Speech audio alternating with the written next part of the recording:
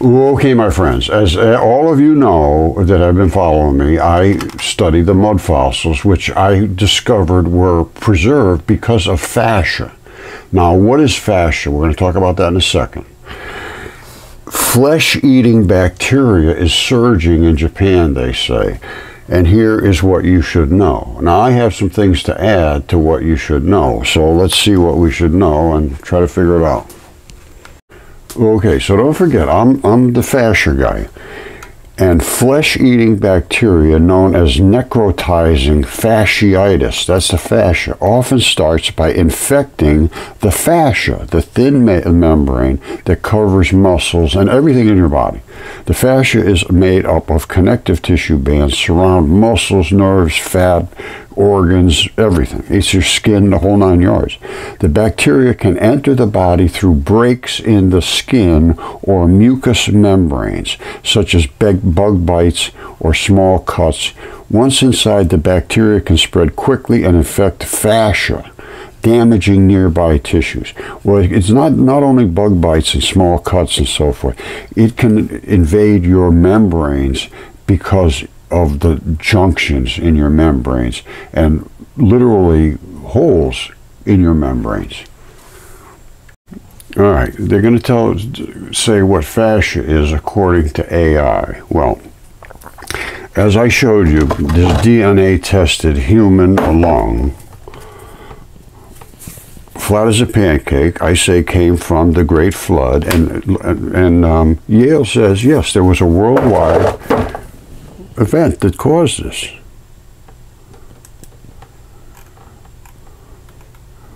Here it is right here. It's strata worldwide. This is the these earliest fossils, which are mine are the earliest fossils ever done, they say, before there was any bones or teeth or shells. No, they said they were all soft-bodied. No, not true at all. They boiled away which created a red bed of the flesh. Literally, the red mud is the flesh that boiled off the bodies. Then, after that, the gray clay piled up on that on top, which is the, the bony parts that, that dissolved, and probably some trees and you know that organic matter that that wasn't like um, fleshy things um, coated with collagen. Collagen was a preservative, and I understand why. And it's got to do with the phospholipids. The P is the phosphorus. Well, all feldspar, and all of these are coated with feldspar, are aluminum silicates. A feldspar 100% is aluminum silicates. This is all aluminum silicates coated. So is Caesar because he's coated with collagens too.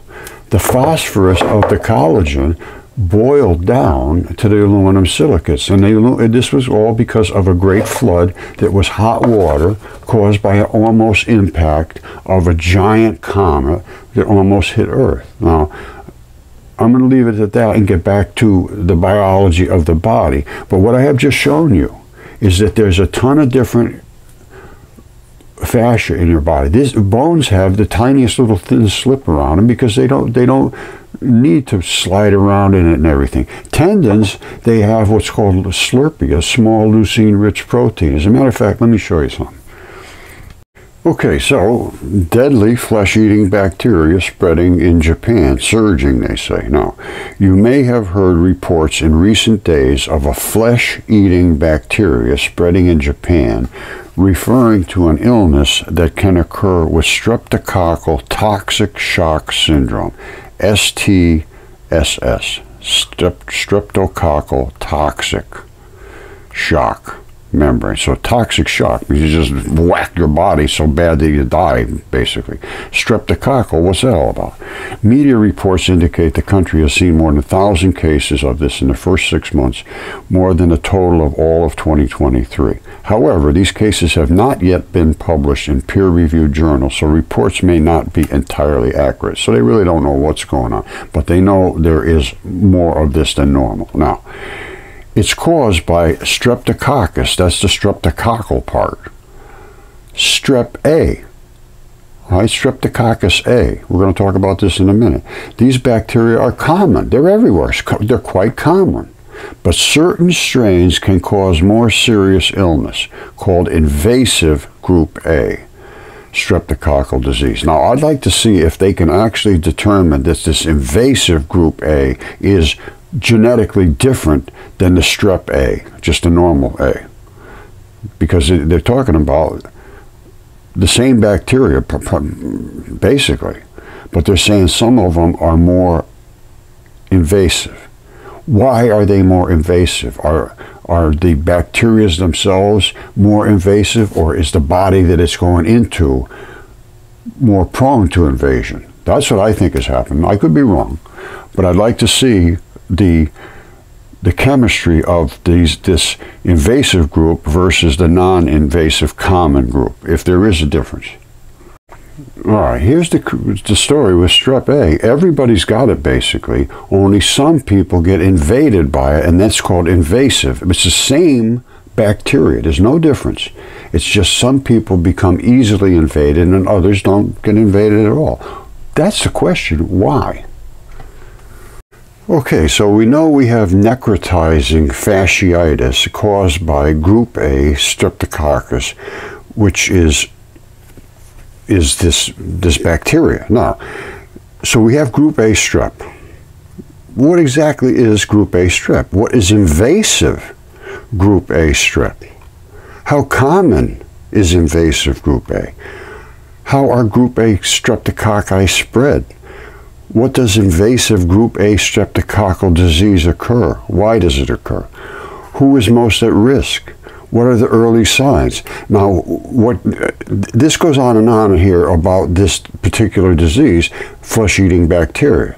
Now, I want to first show you something that I wrote about this particular fasciitis, fascia, long, well, 10 years ago. Okay, this is the paper I wrote back in uh, 2015, and this is after about five years of research about the fascia fascia, which facilitated the fossilization of these creatures. So I was really deep into the fascia. I, I contacted everybody, Germany, everywhere. The only ones that knew anything about it was people in Germany. Now, it's a coating on every fiber of your entire cellular structure. Every cell has a membrane on it which is basically fascia, it is the web of life. In ancient times, it was called tunica, like a cloak that covered everything. Fascia has a job to do. It protects and separates every tissue, and it does it well during your lifetime. Guess what? If you die and are buried quickly and stay wet and compacted in fine mud, the fascia does not even know you're dead. and it keeps protecting you. That's what caused all my mud fossils to be saved, like these bones and so forth, because of the membrane on them. In these particular conditions, which cause the fascia facilitated fossilization, mud fossils. Now, listen to this carefully.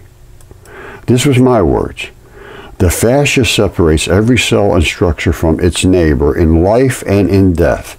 So it's a protective membrane. Fascia protects every bit of you from invasion, including a complete fabric bag that is your skin. That's not the modern fascia too. Your skin is not just one fabric either. You have tough skin and fine skin and even be in between. All fascia, all fascia is made of collagens and kerogens, which are dense with phosphorus. All right, this is something I figured out. I figured out the silicon too. Anyway, we'll get to that in a minute. As fascia is made of collagens and kerogens, the fabric creating fiber and elastins in sheets that wraps everything individually and then comes together in one giant system. It's a fluid-filled highway there's over 20, I think there's 28 types of collagens and kerogens. Some protect from acids, others from caustics, others from mineralization, or, or others mineralize and, and, give you strength to bones, tendons, and all that. And the variety is amazing. The fibers are infused with silicon. Now, tissue in your body are varied and many. Some vascular tubing is completely impenetrable. You just can't get into it and connective tissues are highly mineralized connective tissues. Skin has 50 times as much silicon in it as other tissues.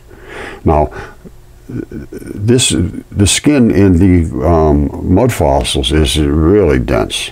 It's like silicon on steroids. All right.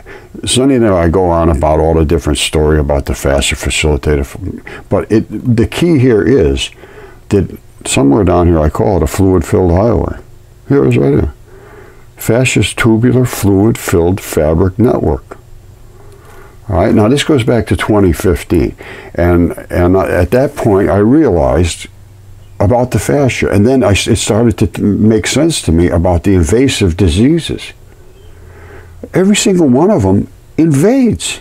They all invade. Well, how do they invade? Through the fascia. Okay, and you all know that I never give any medical advice.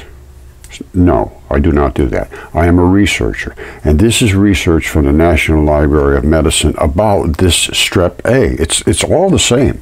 There is no difference in the strep A. It's just how you react to it. It says it's a major human specific bacteria pathogen that causes a wide array of manifestations. So some people get it and hardly anything happens. Some people get it and they die. It says they range from mild, localized infections, the red and sore and pussy and so forth, to life threatening invasive infections, which you die from. Ineffective treatment of S. pyogenes infection can result in a post infectious sequela acute rheumatic fever and post streptococcal blah blah blah blah Moreover, it causes invasive infections like necrotizing fasciitis. That's the fascia. Necrotizing, it kills it, eats it, because there's, there's no way for it to fight back. The toxic shock syndrome is associated with a high morbidity and mortality. That's what you die from, is the sepsis. Now, I went and had my mud fossils DNA tested and CAT scanned and everything else. And they were from a great flood. They're flat as a pancake on one side. And everything, I, I know the process, what happened here. And here's what Yale had to say about it. This is a year later. Yale published this paper.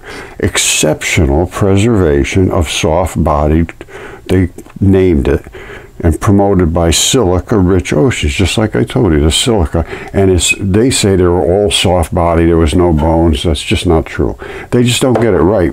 And I talked to, this is the guy I work with, well, I didn't work with him. I try to show him all my stuff, total rejection. But they're saying that this, this, these creatures, which is all the stuff I'm showing here, even to, to the foot of what looks like a human. I mean, it has it has the the um, tibia spot right there with a cradle for it, and it has the fibula, which would sit right here.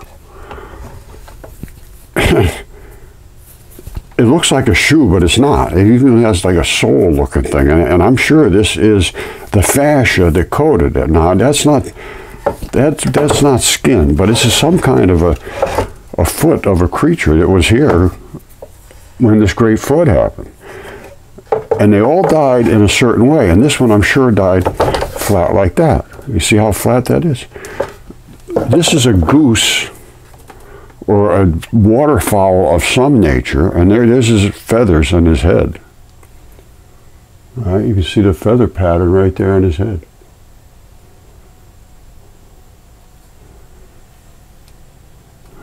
Now, and he died flat on the paper like that too. Same thing. All my stuff did. I think I showed you this. The, the, the, the uh, this DNA tested, CAT scan, everything. I mean, it's as flat as flat can get. And it had to be in the body of the creature that it was in, which was a human, because it was it's DNA tested human and it's just saturated with blood coming out here. And I don't take it from the surface. I go inside, drill you, drill a hole in deep, and then you clean that out, and then you drill again. That's what you use. And it's it's just saturated with blood. It's a lung. You see that pocket right there? That's where the heart sits. This is a left human lung, and this heart is, sits right in there. So it had to die like this with the heart attached and the whole creature boiled during these flood times. I'm sorry to get so deep into this, but this I, I see the opportunity to speak about it, and here it is. So these are exactly what Yale agrees. These are perfectly. Here it is, right here. The, these what they call Ediacara biota. It's all it means is soft-bodied creatures. They're saying it's Earth's earliest fossilized creatures occurs in a terminal layer worldwide. That's the Triassic red bed, gray clay, black cap. I'll explain that in one minute. Then they say how the fossils preserved so well remains controversial. Exceptional preservation. Now, this I presented all this stuff, like I said, to Derek Briggs, but it, it didn't go anywhere. But NASA funded all this, so they wrote a paper on it and claimed that they had figured it out. Which, I, as you saw, my paper goes back a year earlier, and is, is it says basically the identical same thing. And this was I say, how is this possible? They all said the same thing. When I try to explain, I feel like a doctor with a patient has glazed eyes. You know, they just nobody knows about the fascia. First of all, at that point, nobody did know about the fascia. It was just something that they. I, I'm not kidding you. I swear this is a fact. I got a hold of the guy that was talking about fascia and because of connective tissue issues where sports injuries and things. And I said to him, I said, look, here's what I found is this layer in there. Can you explain this? And he said, no, it's just a layer of fuzz, they called it. But it, well, let me just show you the paper they have. All right, so here it is right here meet your interstitium, a newfound organ, which is this fluid-filled highway that I described in my paper. I said it was a fluid-filled network, and it is. This was in 2018. Somebody wrote a paper. I know who it was. They wrote a paper, and they had a hard time getting it published, but they finally did publish it. And now they consider this to be a new organ, which is this layer right here. I'll explain that layer in a second. But this it, it, this was when they announced it as a new organ. Now my paper talks about this interstitium layer right here, and this fluid-filled highway. The whole this whole area, membranes in, specifically, but the fascia is right in here. This is the coating, the membrane that separates you from where your skin is up here. All right, this is your skin, let's say but it could be the coating of your lung or your kidney or your liver or your heart or your muscles or your tendons. Every single thing in your body that is a different thing than the thing that is next to has a membrane between it. They both have it. That membrane is the protection for this layer. If you get through this layer, that's not a big deal because these guys will kill you. You might get a little pus and a sore, and, and you know it's going to that type of thing. You know, an infection a little bit. But if it gets down in here, you're going to have to send a lot of troops in, and they can kill it. You can get a deep wound and, and still kill all that bacteria and get it out of you because you got a lot of interstitial fluids, which is nothing more than lymph. This is basically the lymph system in your body. They call it anything they want, but that's where the lymph fluid primarily flows. And within that lymph fluid is all enzymes, bacteria, and all that stuff patrolling and living in this layer underneath, which is your membrane. Now, these are the little tiny balls, and I talk about those in my my mud fossils as well because they're, they're everywhere. Nobody knows what to do about them or how they got there. Can you see those little balls? You see down there? See them all? They're everywhere. This is a real picture. This is not an artist's rendition. This is some probably uh, uh, immediately at an autopsy. Because here's the problem. They didn't realize this was here. And the reason they didn't realize that layer was there is by the time they came in to autopsy these people, the fluid had drained out of that layer and it went flat like a pancake. And they thought it was a thick film.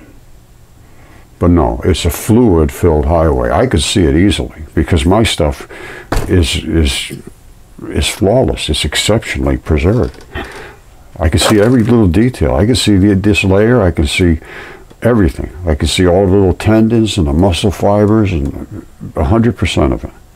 And it's because of the mud fossilization process, which I described back in my paper, the fascia facilitated fossilization.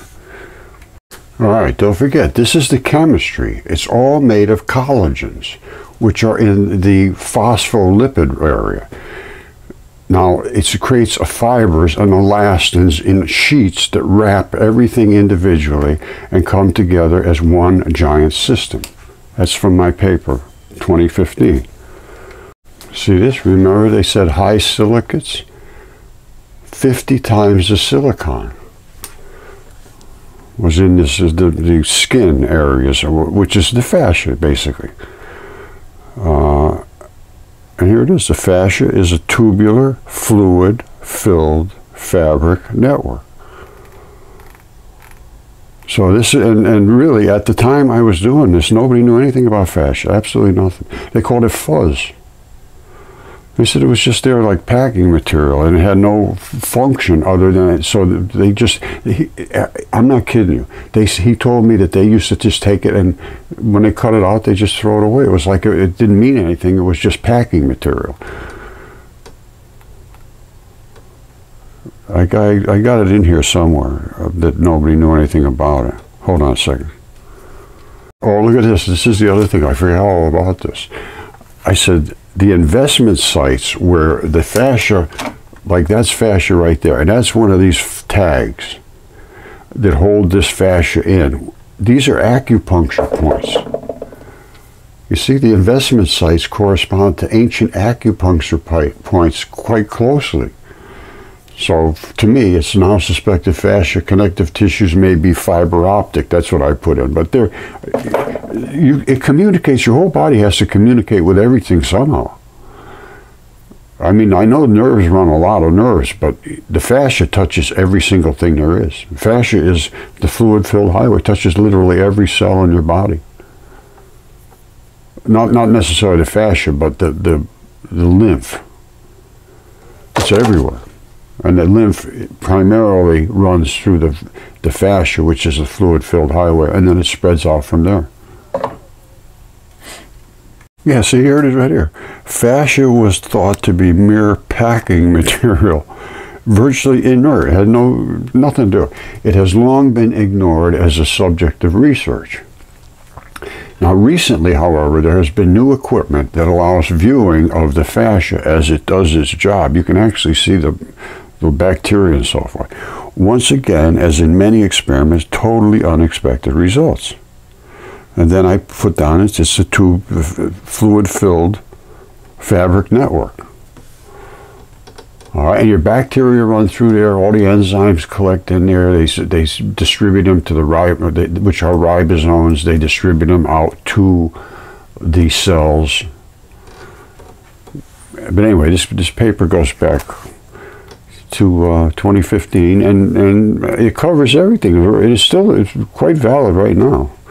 I've made some other discoveries since then. Well, maybe I'll, they'll come up as we go along here, but this we need to understand the basic cellular network that's in your body to understand how it gets invaded because the fascia protects you from the invasion. That's why I'm getting so deep in this fascia.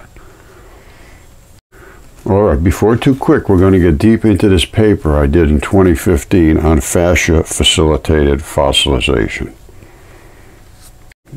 You see that? That's a mud fossil right there.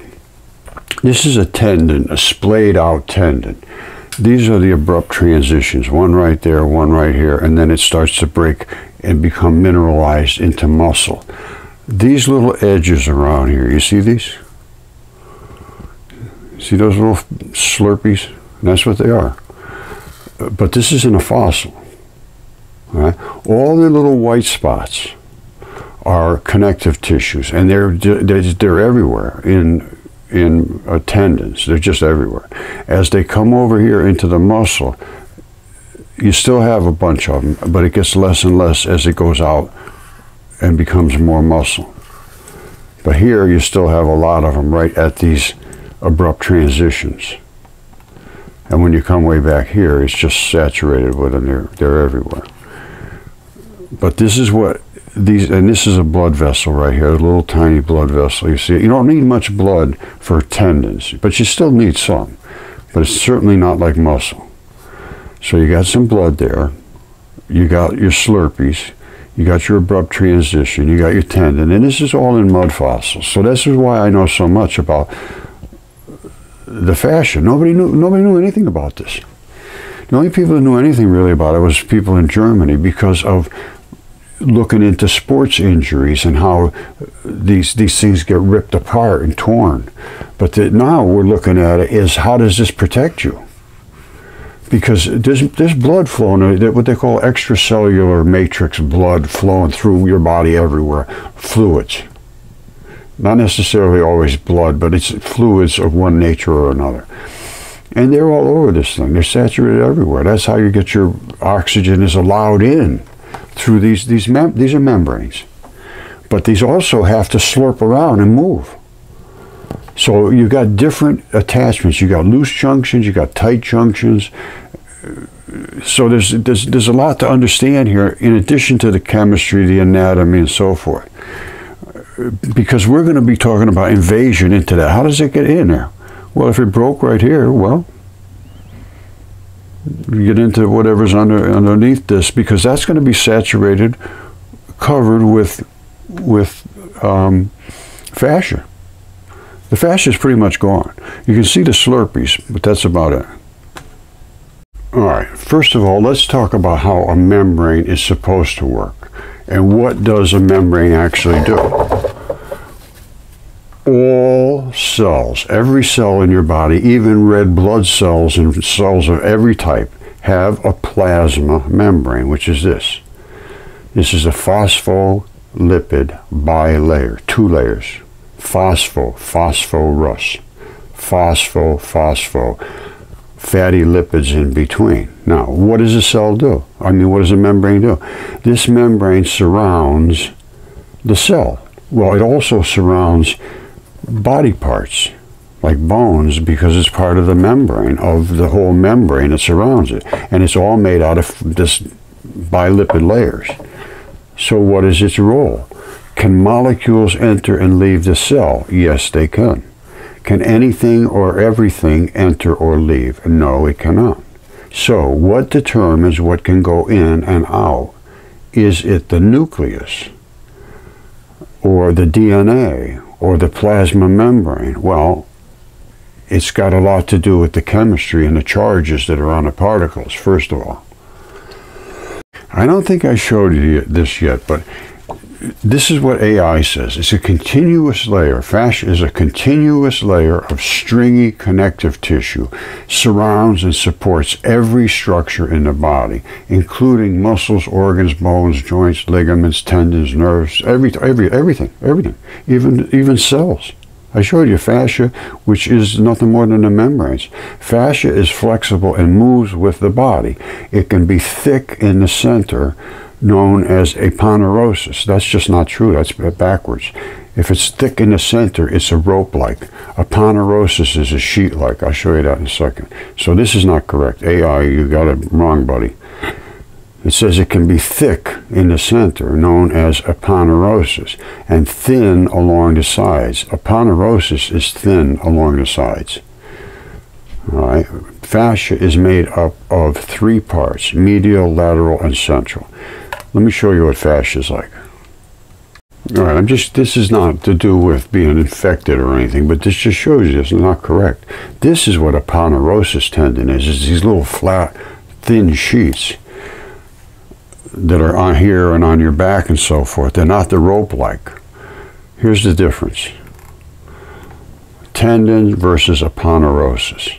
Tendon whitish connective tissue, long, tough, and cord-like, thick in the center, rope-like, tough.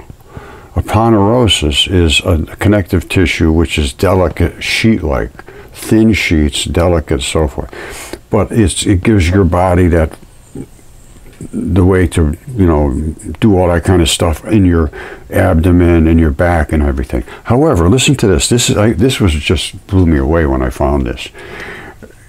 We're talking about tendon, and it has to slide. I think I talked about the Slurpee, small leucine-rich proteins. Hold on a second.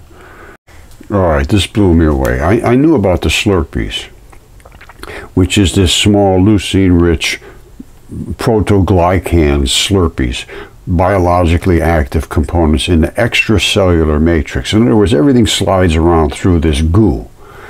Consists of a protein core with leucine-rich repeating motifs covalently linked to glyco blah, blah, blah, blah, side chains. Now, so I'm looking at something. I forget what it was I was looking for, but on the other side of this, there's all the all the different little scientific things. it's, it's just all kinds of stuff. So I'm looking for coefficient of friction. I forget why. And I'm looking down at all how things get more and more slippery. And ice on ice is 0.1 and 0.03. This is static and kinetic. Kinetic means you, is you're moving it, you're pulling it along. And static means it's basically sitting. I don't know why they give it a friction, but anyway. Ice on ice, let's go with the kinetic, 0.03. Teflon on Teflon is 0.04. Synovial joints, which is this stuff here, this is what they're talking about, synovial fluids, 0.003. The closest is 0.04, which is Teflon on Teflon. This is 0.003. It's much more fluidy than Teflon on Teflon the coefficient of friction. It's got all kinds of stuff. It's very cool. Just this one little thing, you could do a lot with that. Anyway, um, small, these are the Slurpees. And, and this is what happens when people get inflexible. Their Slurpees get gooey. You have to keep them moving. You have to keep them moving. You don't keep them moving, they sort of lock up on you. That's what happens. And I know that for a fact because it happened to me. Okay, by now I would think you have a pretty good understanding of what fascia is. And this is it right here. And this is the fluid-filled highway that sends the troops and the enzymes and the ribosomes out through this highway to attack invaders. That's what it's here for. This is your immune system. And it is everywhere. It's on every single thing. Every single organ, every single cell.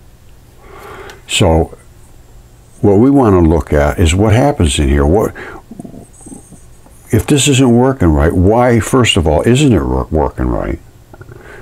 And secondly, can we do anything? Well, I don't want to talk about doing anything about it because I'm not a doctor. I, but I'm going to tell you there. You have to protect yourself by keeping this membrane intact. Well, let me see, show you what the research indicates at this point. Okay, so we know that is the bilipid membrane, phosphorus, phosphorus, fatty stuff. Now, this is actually what it looks like going through the body, or uh, wrapping around every single thing in your body. I showed you the difference between aponeurosis and a rope-like. And this is the ponderosa, this is the flat sheets, and the rope-like are uh, the ones that run, like, you know, to pull against your arm and all that sort of stuff. And I showed you the slurpy layers in here and the abrupt transitions. Now, let's talk about cancer and in all invasive diseases. Because this Streptococcus A, all it does is invade you and it's it's it's it takes over very very fast because in my opinion there is nothing there to prevent it from coming in, which is the enzymes created by the bacteria. And what is an enzyme? An enzyme is that right there. And that sucker is so specific. It, that's why your, your body creates antibody um, particles that, that kill invaders. And they're, these, they're like this. They're that complicated. And those are just like you're getting, um, you know, uh, immunity. This is like immunity. All right. So if you've got this in here in your in your fluid-filled highway, you're going to be okay. The thing that comes in that wants to get through that fluid-filled highway, this has a chemical signature on it. All right, and I'm going to show you how this thing works. Right, first of all, it comes down as a ball, a ribosome. And then when that ribosome opens up, you end up with this. And all of that is molecular signature. And it is an enzyme at this point, which an enzyme does, it, it doesn't even break down. It goes around, finds things that match up this, this molecular configuration. And it just goes bing, bing, bing, bing, bing, bing, bing, bing, bing, and kills them all. Instantaneously. I mean, instantaneously. It's like electric shock treatment boop, boop, boop, boop, boop, boop. And it just keeps going on and doing that all day long. It doesn't even go away. It's it's just it stays active until it's no longer needed. And I guess at, at that point, at some point, it dissolves or whatever. But that's an enzyme. Now, where did that enzyme come from? Well, here's where it came from. These little balls. And I said the ball comes down and it's wrapped up in a sheath. And when it finds its target, it tickles the little hairs on here the chemistry on the on the ball. Something tickles it and says, "Hey, I'm the bad guy," and it says, "Oh yeah, how about this?" It opens up and it comes out and it whacks that bad guy. Or the other thing, the same thing happens with these ribosomes. They can open up and be proteins. Well, the difference between an enzyme here and a protein here is that this is a building block. It makes bones and teeth and all that stuff. And this destroys things and kills things. Two sides of a coin. But they all come in in this little ball. And where did that ball come from? Well, that ball came from this guy right here, which is a bacteria. And how many species of bacteria do you think there is? That live in your body? How many do you think? And how much bacteria do you think is in your body compared to the number of cells that your body has? Na, na, na, na, na, na, na. All right, you got to figure it out? All right, here it is. The number of bacteria cells in your body is more than the number of cells in your body that are your cells or my cells. There's more bacteria in you than there is you in you. All right, take that in for a second. And these things, there is so many different species. And what does a species mean? What does that mean? A species means it has a different DNA signature. You see that? That's the DNA of the bacteria. Just like we have a DNA says you're going to have five fingers and toes and two eyeballs and da da da da. This thing says I'm going to have these little hairs. I'm going to have a flagella. I'm going to have this. I'm going to have that. But I am also programmed to make these little tiny balls, which are ribosomes. All right, ribosomes are these little balls, the ones I showed you before, that when they get tickled, they pop out like this and they destroy whatever tickled them. But it's all magnetic. It's all, it's, it's all about the program. And what program, Roger? Well, this program right here. This is how the whole thing works. Let's just start with the bacteria creating the ribosome here. It has its own DNA and knows what to do. And it says, I'm going to make that particular ribosome every single time. It comes out, which is nothing more than a chain of these particles. And it literally is a magnetic chain of particles, just like that. And every one of these colors means it's a different amino acid. There's 20 of them. So if, if you got a blue and a green and a red and an orange and going down, and they have to be exactly in the same sequence, and then they program a messenger RNA strand, which is a single strand. This is in a program, and it happens in what I, they call transferase. It's a, a, an enzyme. You have to have these enzymes. Enzymes are only produced by bacteria. So this is where we're going to, is the bacterial um, involvement here. So if you don't have the bacteria that makes transferase, you're not going to be able to create whatever it is here. And there might be a specific bacteria that creates transferase for some specific enzyme. I don't know. These are things nobody knows. But you do need to know that if you don't create these mRNA strands, you won't be able to program your own DNA. Because these are what make you you um, immune to things. Now, what they do with the vaccines is they make these different codes in these messenger RNAs, which is just like your body would do. So if they get it right and everything's fine, that code will come in here and attach to your own DNA with another enzyme breaking open the DNA. See that cloud? It broke open that DNA.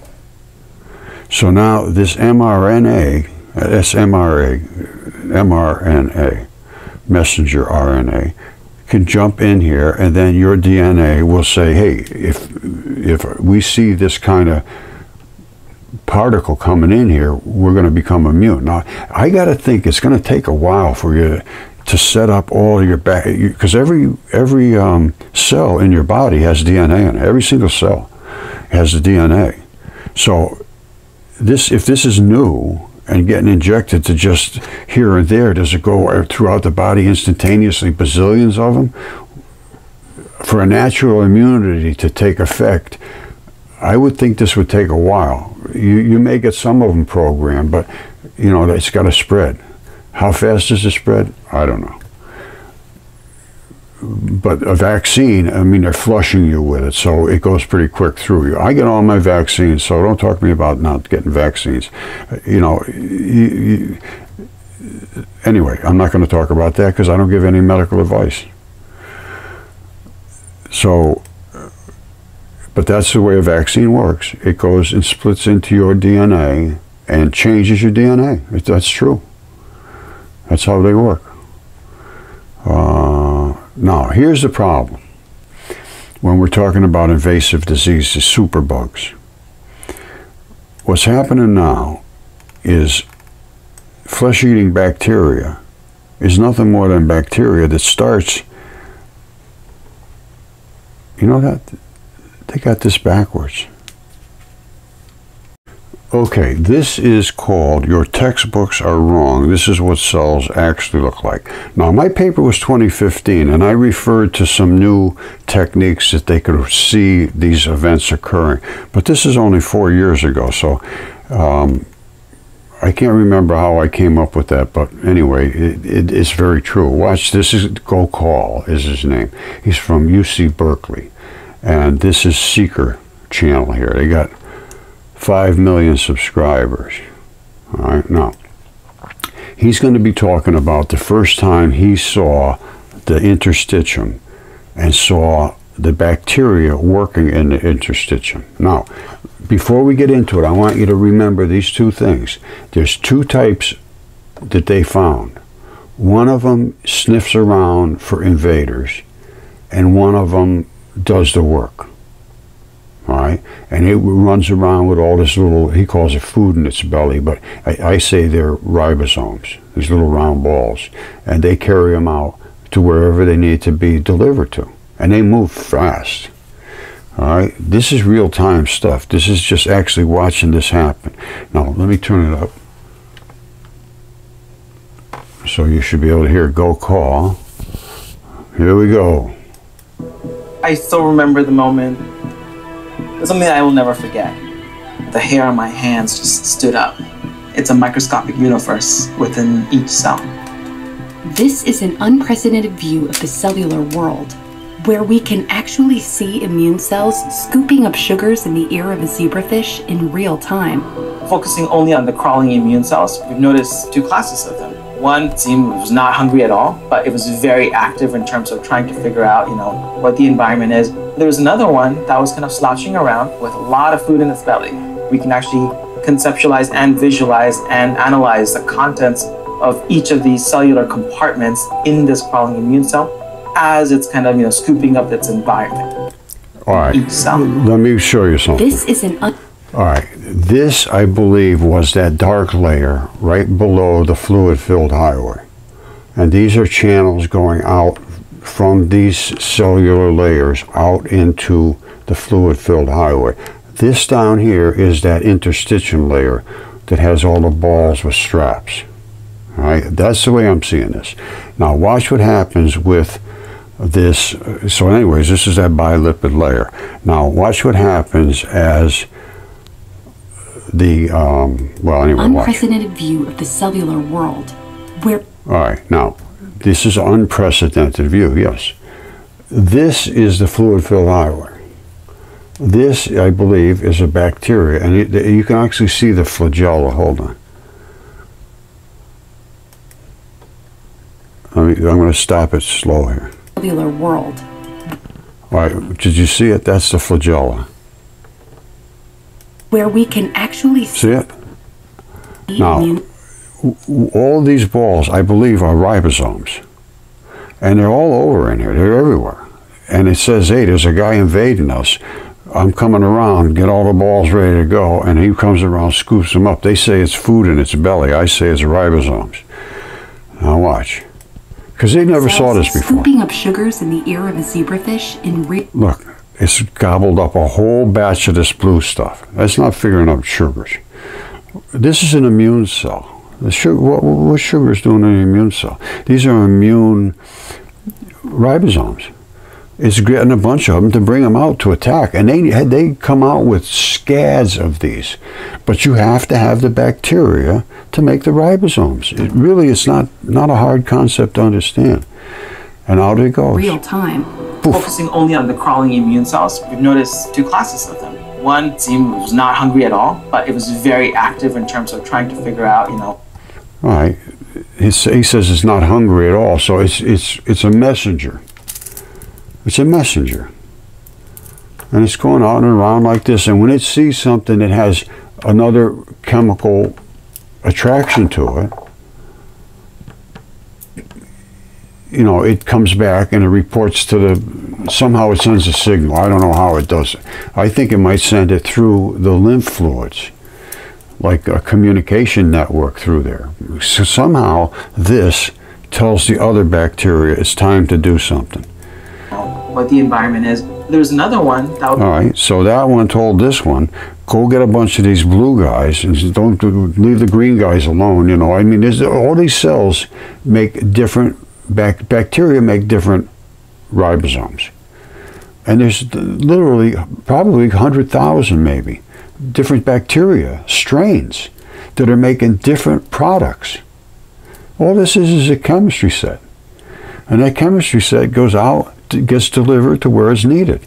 If it's down in your stomach because you just ate steak or something, well, and you need to get some fats going and proteins broken down or whatever it is, it comes up and it gets the right guys. Mostly they're living right around your guts. That, that's where you're, and that's why they all you always got abdominal pain, diarrhea, constipation, you know, abdominal issues, nausea. It's always related to that when you get sick, basically, almost always.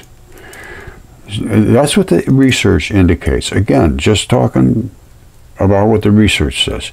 So, what my feeling is if you don't have the correct bacteria to make these exact ribosomes, you are not going to get this guy to get anything. He's going to come in here and say, Where's all the blue guys? I said, Well, don't have any.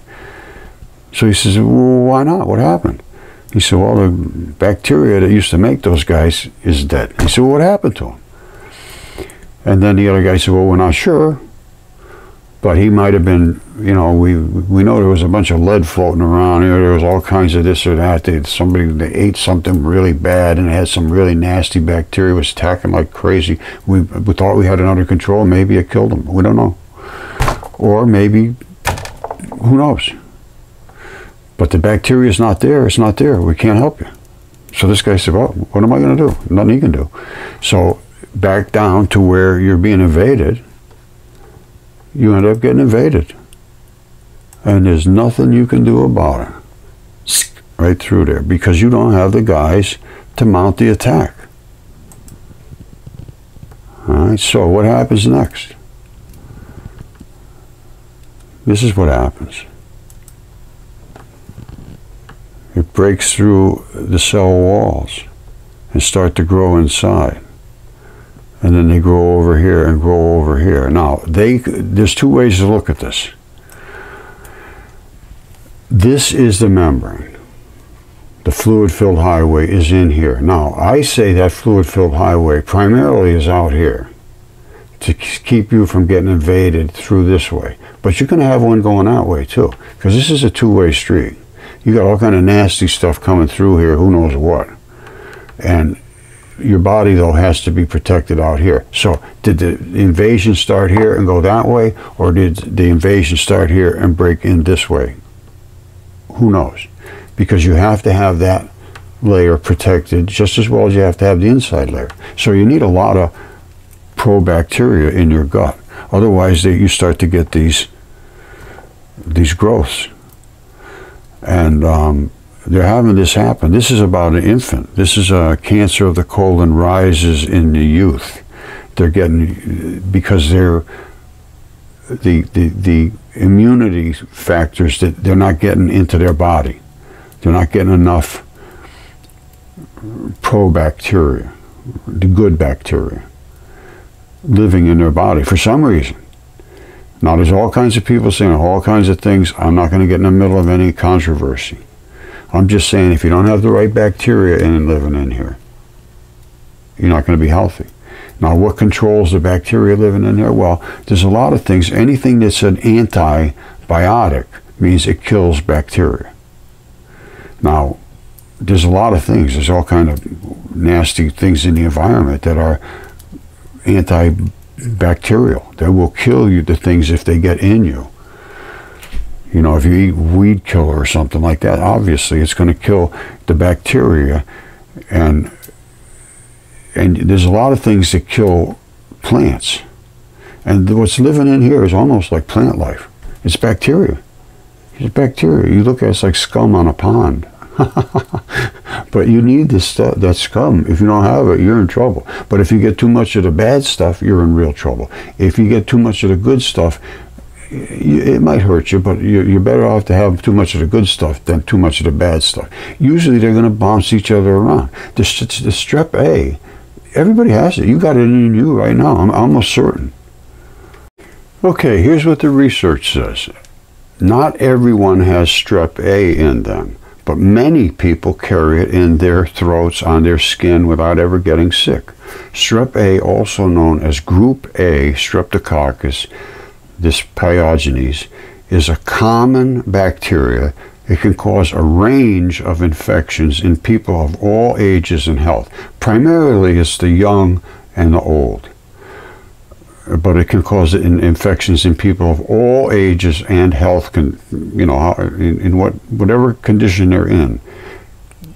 However, it doesn't always lead to illness. Well, why do some people get sick and others don't? I, that's what I always look for. What's the difference? What makes me healthy and you sick, or vice versa? You know, how rapid can deaths happen? My father-in-law died almost overnight because of sepsis. And that's what causes it is this Streptococcus A, I believe.